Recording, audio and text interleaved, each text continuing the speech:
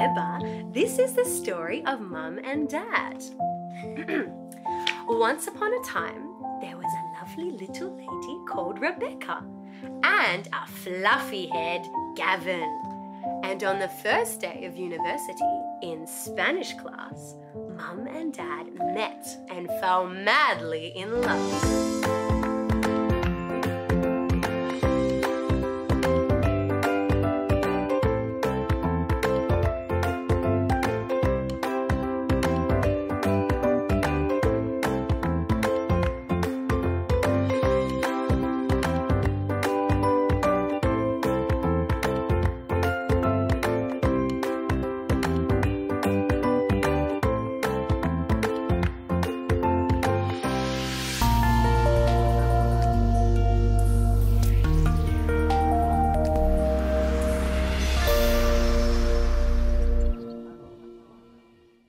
My name is Gavin John Van Rensburg, and my wife is Rebecca.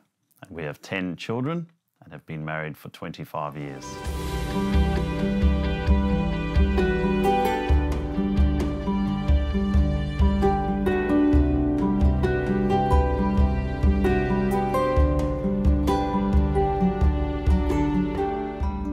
The statement that families that pray together stay together since we since our early friendship and courtship and over the years, we've constantly heard it, and, and it's quite a simple statement, and yet it is, is so extremely powerful.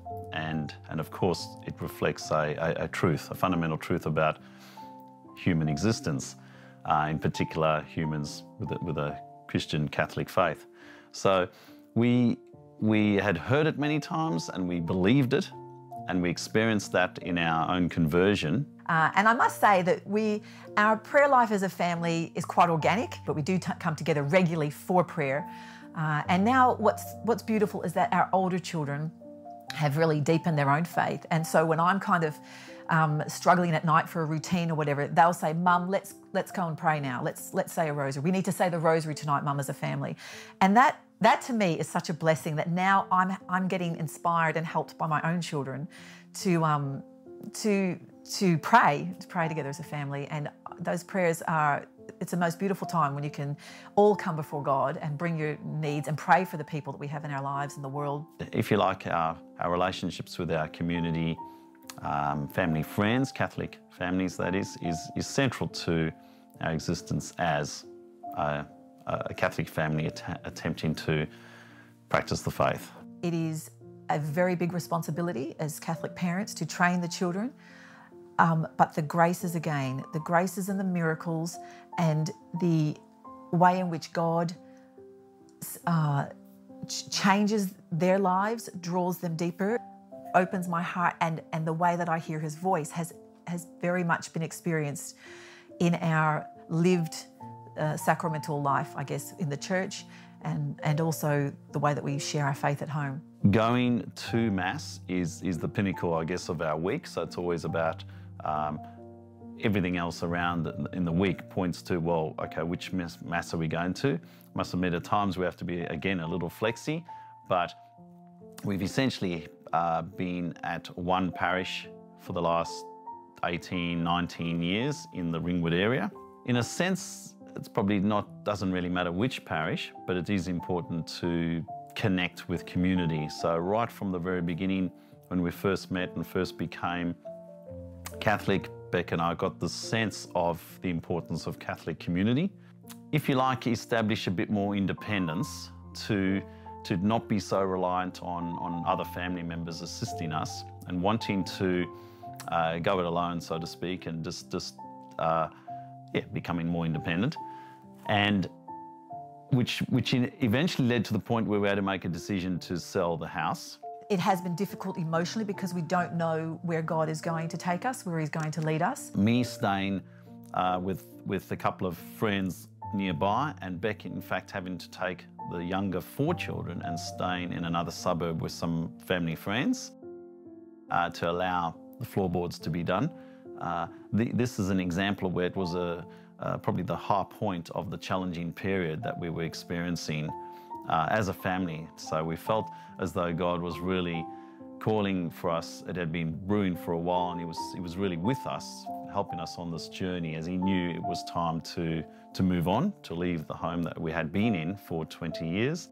Over and over again, the signs that God has provided for us have been signs of comfort, signs of I am here and I am carrying you and I am providing and um, and emotionally whilst whilst there's that anxiety of um, what the future holds for the family, where we may end up um, living again, what community we might be in, where Gav's further employment may be.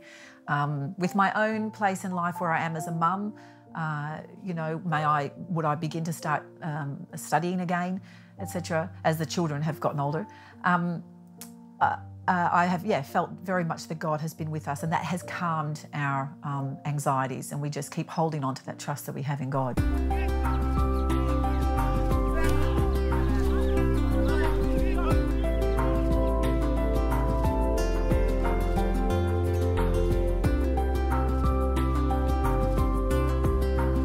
Be a part of a parish community where it's more than just simply turning up each Sunday, attending the Mass, and then ducking out and heading off. So the examples, I'd probably have to, and more credit goes to Beck in recent years, where she's felt this call to want to um, do more and, and help invigorate the experience of parish life.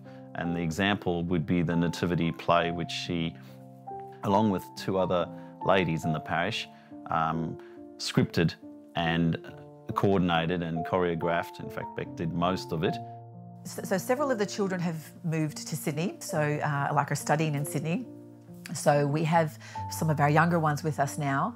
Um, because of the, our house moving and, and different things over the last year, we haven't had a very good routine with our parish because we've um, been quite unsettled. But in the past, the whole family was involved in a parish nativity play, which I helped to um, write the script, organise music, and direct with another beautiful team of other women. And I will trust in you alone, and I will trust in you.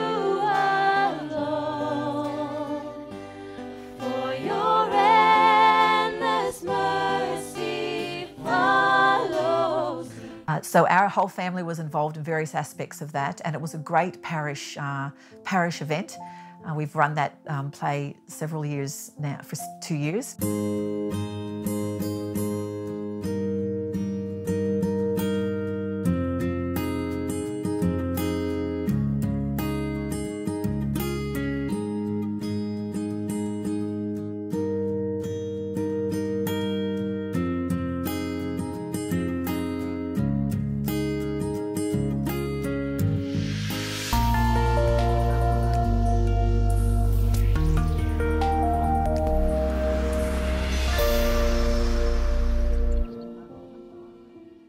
I was raised, uh, born, baptised and raised an Anglican, so with Church of England.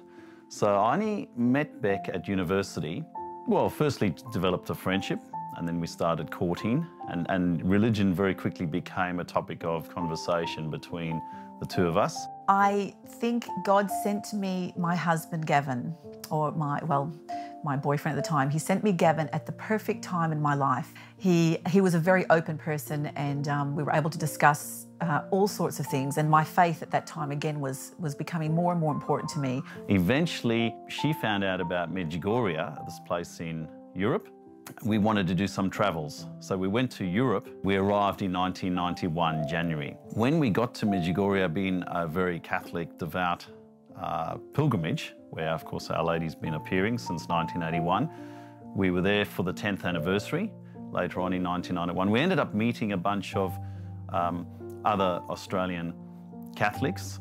So I believe that God helped me in, in, that process of us both beginning to journey together in our faith. He sent us the most wonderful priests and friends, faith filled friends, and um, and we also educated ourselves about um, what it was, what, what did Catholic married life look like, what was it to be a Catholic spouse, and we got to know and understand those, um, those the, the vision that the church had for marriage uh, in a deeper way, and we loved it. Part of our travels, we we went to Mexico and visited the Basilica of uh, Guadalupe and knew that the feast of Our Lady of Guadalupe was the 12th of December. And it just happened to be that the 12th of the 12th, 1992 was a Saturday.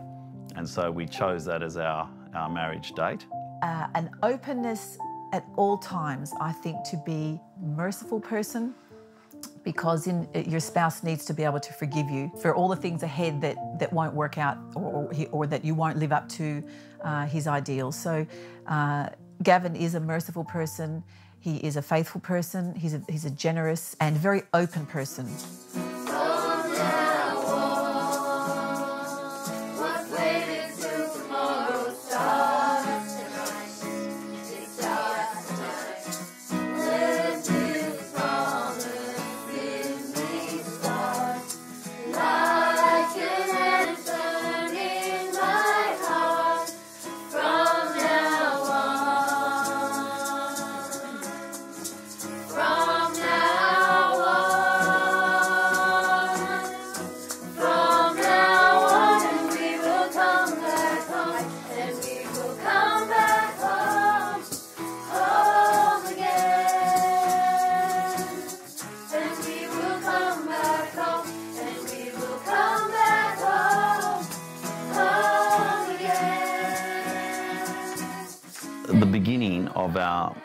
Uh, marriage, we were open to children.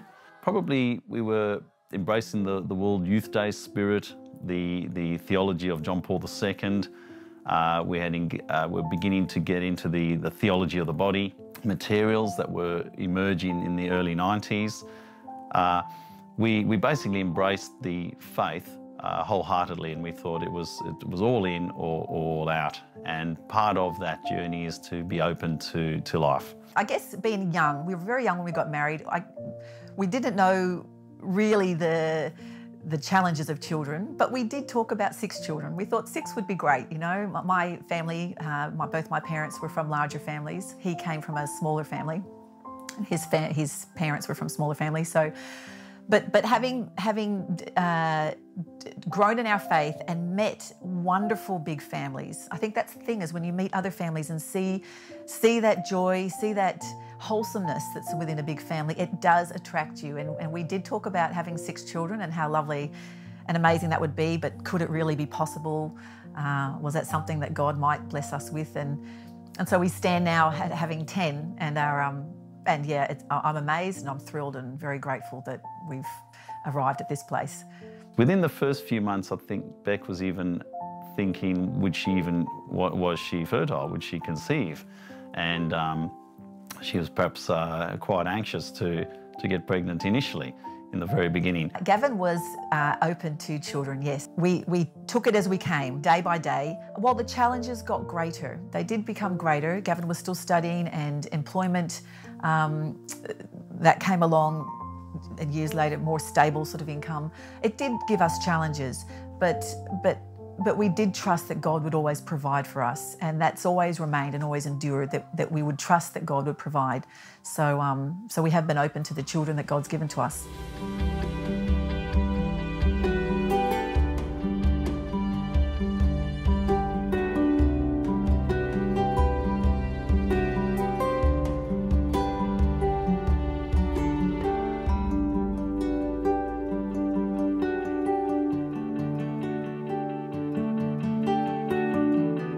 Uh, and, and also, of course, uh, five and five, five boys, five girls. It's been fantastic. So we had two, two boys to start, then two girls, then it was a, a boy, then three girls, and then two boys to even it up. The eldest, John Paul, uh, who's 24, uh, is very, uh, very humorous and very witty uh, in terms of his, some of his own uh, unique aspects. Uh, very talented. He's, he's, always been a sort of a natural all-rounder.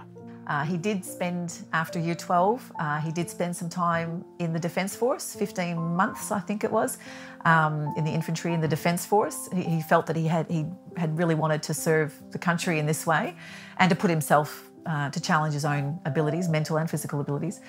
Um, so he always gives 100% to whatever he does. He's a fun, fun guy.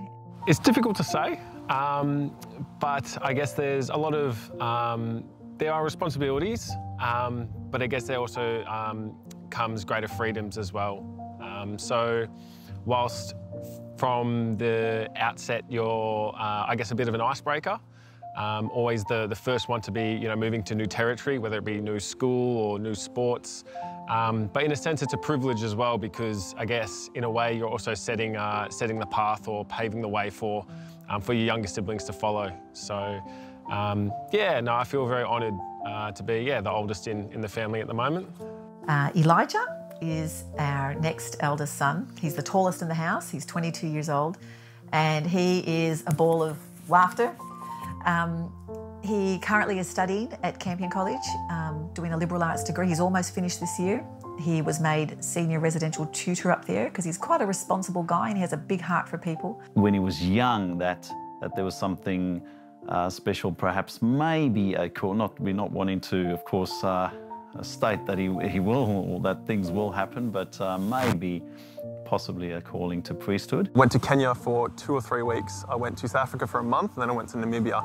And the Kenya part of that trip, I did three weeks um, volunteering with the Oblates, the Oblates over there. So I helped in the schools, I helped with building um, this new seminary for some of the young priests over there. Um, I was I was helping with a, in a medical outreach program, so we would drive to these really, really poor areas of Nairobi and, um, and administer um, medicine and, and, would give people bags of, of wheat and grain and uh, the way it helped me was it really, it really made me realize that amongst all the poverty and amongst all those different things, th those humans over there are exactly the same as us and they, and they struggle with the exact same issues as us. They might not be as, as rich, they might not have as much um, material goods, but they really do um, share that same spiritual battle that we do here in the West. It's just in a different way. Then we've got Marie Therese, Claire, who the eldest of our daughters, and she's 20, she'll be turning 21 later in the year. And very, uh, again, very musical, uh, hardworking, dedicated. She's probably a little like me. Once she sets her mind to a, to a goal, she will work extremely hard to uh, try to achieve it it really, um, in so many ways, my, my, my, siblings are my friends, you know, and, and they're, they're really my world, and we all love each other and love each other's company um, so, so, so much. And so the advantages would be just having a consistent core group of people that love you and support you through everything. Um, when the world doesn't offer you that, um, you have your family who are your blood and, and bones who, who are just behind you every step of the way. What a gift Marie is to the house. Um, she, uh, in school, she was a um, very dedicated to her studies, uh, showed a lot of musical ability and passion in school, was, was known for her um, energy that she gave to the music department and was awarded a special award at school for the, her contributions to, to music. I guess we, we develop a, a, a thick skin and a resilience at times that we kind of just let it go and we just focus on being who we are as a family. I feel completely blessed to be the mother of 10 children. Um, sometimes I look back uh, and it seems that it's happened very quickly. I still feel young, I still feel full of energy, uh, and yet to know that I have 10 children that call me mum is, uh, it fills my heart with great joy and, uh, and pride because uh, my children are, are wonderful and, uh, and I'm very, yeah, I'm very proud and, and thankful. My, it's, it's been a big journey, but I'm very grateful for what God's done in my life as a woman and as a mother to have blessed me with so many children.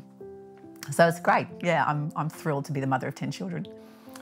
It's, it's her dedication, her support, and her sacrifice for, uh, for firstly for us as, as a couple, and then obviously if we've been together for effectively 29, almost 30 years in fact, 25 years of marriage, uh, in all that time, there was the three and a half to four years of courtship, so I get to see her as, of course, us as, as individuals. Uh, there were all those wonderful individualistic qualities, but, uh, but as and since the marriage in 92 and with all the children coming along, she has just deepened in her uh, well, love and sacrifice of them. And she's continued to support uh, me with, with studies in order to secure some work, obviously, for, for us as a family.